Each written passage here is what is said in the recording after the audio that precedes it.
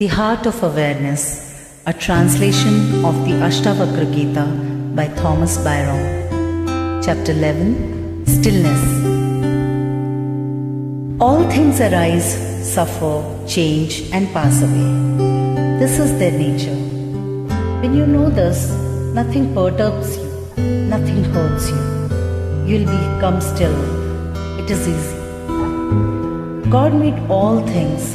There is only God. When you know this, desire melts away. Clinging to nothing, you become still. Sooner or later, fortune or misfortune may befall you. When you know this, you desire nothing. You grieve for nothing. Subduing the senses, you are happy. Whatever you do, brings joy or sorrow, life or death. When you know this, you may act freely without attachment. For what is there to accomplish? All sorrow comes from fear, from nothing else.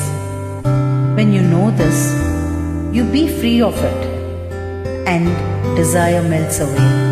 You become happy and still. I am not the body, nor the body mine. I am awareness itself. When you know this, you have no thought for what you have done or left undone. You become one, perfect and indivisible. I am in all things, from Brahma to blade of grass. When you know this, you are not no thought for success or failure or the mind's inconstancy, you are pure, you are still. The world with all its wonders is nothing.